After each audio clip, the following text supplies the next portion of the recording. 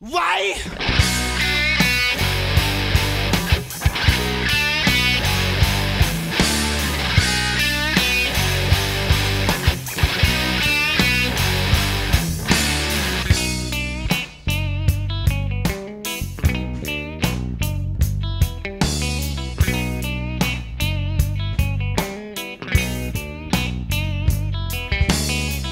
Det var lørdag 24. desember. Jeg så under juletreet. Der lå det en gave som kjentes ut som en videofilm. Jeg tenkte at i år vil jeg få den pornofilmen jeg ønska meg i alle år.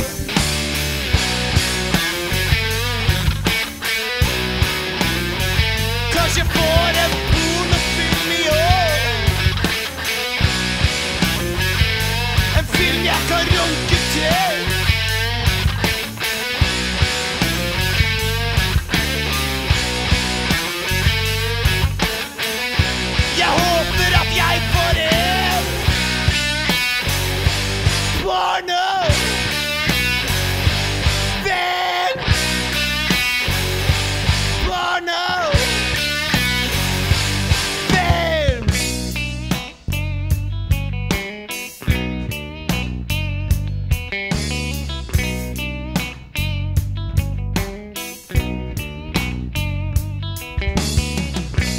tiden var inne for å åpne pakkene, gikk jeg bort til treet og tok opp pakken som jeg trodde var en videofilm.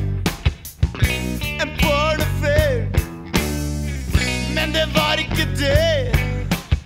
Det var Knut Hamsuns markedsgrøde.